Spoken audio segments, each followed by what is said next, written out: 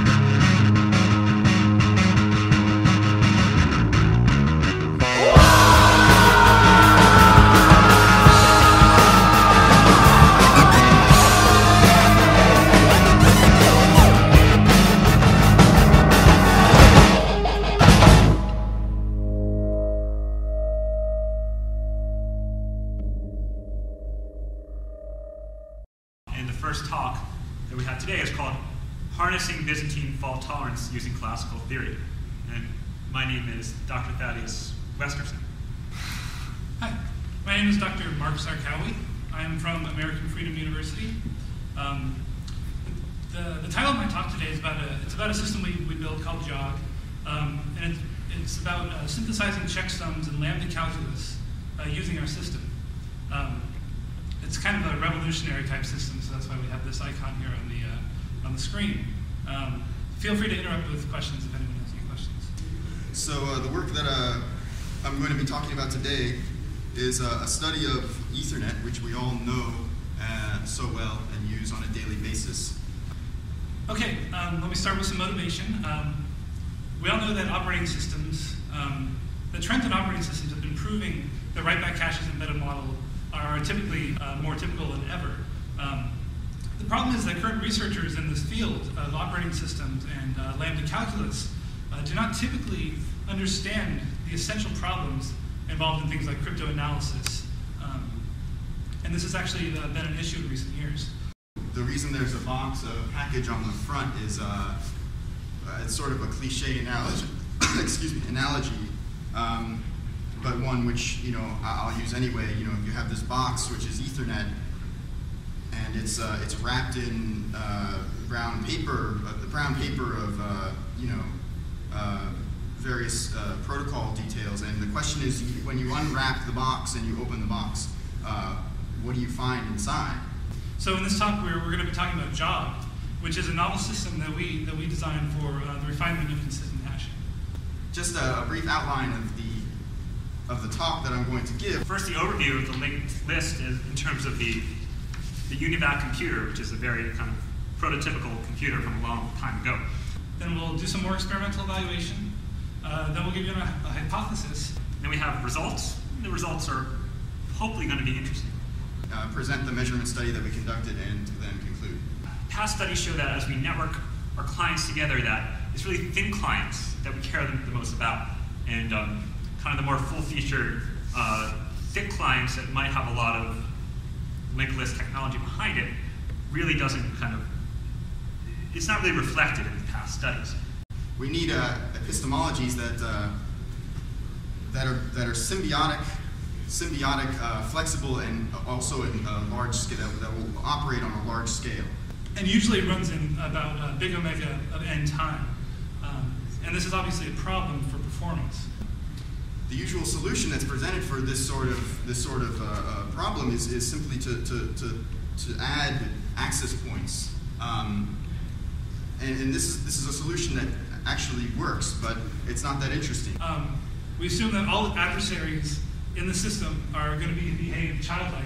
You know, that might not seem too topical to what we're, we're, we're addressing here. We want to keep this talk as topical as possible. Uh, we're going to assume also that they're technologically I'm going to be talking about a different approach, um, which uh, I will show uh, doesn't work, but may work um, someday. Uh, so the question we asked ourselves up at American Freedom University is how can we make these efficient modalities more secure? So this slide didn't really come out too well. Okay, here's a here's a diagram of our of our architecture. It looks almost linked list like, um, in that you know there are a couple of weird cycles in there. And this is what would happen if you know you had a linked list um, that really was more towards things other than thin clients. And we really want thin clients. You see here that there's uh, an internet cloud here in the middle. Um, you have many devices connected to each other and also connected through the internet. Um, you also have several peripheral devices such as USB keys. This slide really did not turn out too well. You know, we have a bunch of different computers being networked. With floppy disks, as usual, they're not really as important as they used to be. With the lock, they were really trying to show how cryptographers were thinking about thin clients in the past. E is connected to J, J and, and G are, are mutually connected, but the problem, of course, is that G must, uh, must be connected to itself, which, which uh, is simply uh, an, uh, an impossibility.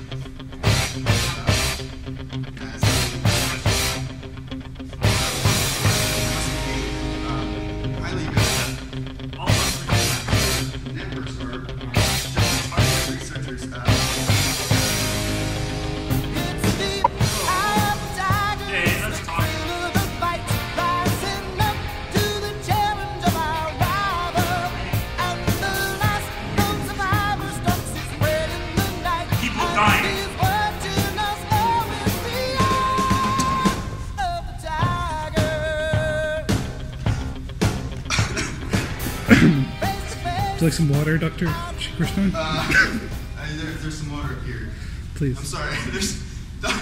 So um, I think the results here are really kind of preliminary. While the, the system is, is, is infeasible um, uh, in practice and um, largely infeasible in theory, Um, for the application binary interface, as um, seek time goes up, we actually see the iterate, iterate route go up for B trees, but not for web browsers, although there is a lot of noise in that data. what would happen if our web browsers um, could be made lazily discrete? Um, and uh, this could be done uh, simply uh, these days with a, a, a, a plugin. There's not much, not much sense in this data, as we could tell, but it kind of has good impact on simplicity. So here we have a graph of um, simulated results, um, and this is a CDF, uh, which uh, means it's it's uh, uh, it's hard to read. And you know, this is kind of normalized for some other things that you normally don't see. So it's not the regular exponential curve that we hear so much about. So here we, we, we deployed um, 31 uh, old Macs um, across a 10 node network, um, which in itself involves some uh, tricky wiring. Why do we use Macintoshes? Uh, it- well, we got a good deal. Uh, maybe I should have done this at the beginning of the talk because I think it was a little confusing, but I'm going to go over related work now. It's, it's a lot of related work, I know, because sometimes I get overwhelmed by it too. Obviously, there's the, uh, the work of, uh, in 1997 on um, automata that are uh, structured, not, not, just, not simply just structured, but um, extremely structured. Of course, Dijkstra's seminal paper um, in the Journal of, of Sign Sign Symmetries in 1999 um, obviously influenced Jog a great deal. That's actually not that relevant, but it's on the slide anyway. Super pseudorandom models, which I, I don't really have to explain how this relates to our work. In conclusion, um, I've presented uh, Scherzo, or Scherzo. Um, I, I have to figure out how to pronounce the name of our own system. I talked about JOG, which is um, has a little bit to do with digital ana- analog converters, although I didn't talk about it uh, in this talk. You can read the paper for more uh, information about that. Uh, this is a futile effort, but one which we, we believe is valuable nonetheless. We show that JOG is able to cache virtual algorithms. And in doing so, it prevents the World Wide Web. You know, we have more results in the paper. So uh, that's about it, and thank you. Um, our application uh, rep- represents a, a, a, a a minor con- contribution to, to the theory.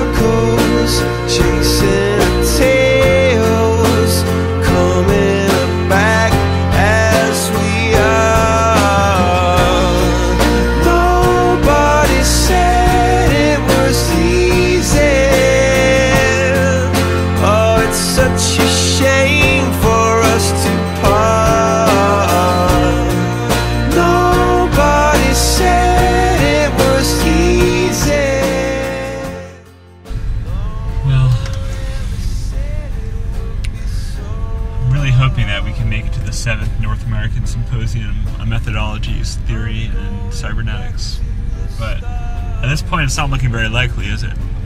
This this one being as scarcely attended as it was. Yeah, I think So- we'll be dangerously underfunded next year.